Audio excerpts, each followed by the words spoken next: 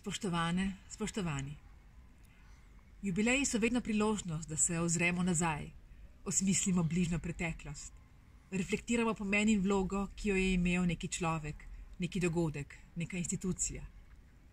Ko je pred 30 leti nederlandist in umetnostni zgodovinar Paul van den Heuvel o podpori Nizozemske jezikovne unije in velikim posluhom Filozofske fakultete Univerze v Ljubljani položil temeljni kamen za nizozemski lektorat kot enega ključnih sestavnih delov oddelka za germanistiko, za nederlandistiko in skandinavistiko, se je ob tem brško naravnal po misli enega najvidnejših sodobnih nizozemskih pisateljev, C.S. Noteboma, ki je v svojih ritualih zapisal: Če ne bomo sami vzeli stvari v roke, bodo naše življenje določali ljudje in stvari, ki v njem nastopajo. V preteklih 30 letih se je nizozemski lektorat nenehno razvijal.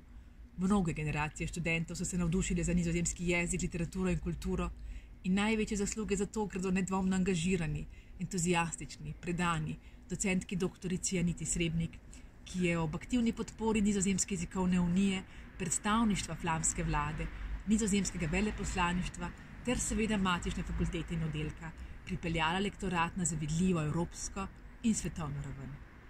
Ob tem ji v imenu oddelka in fakultete iskreno čestitam.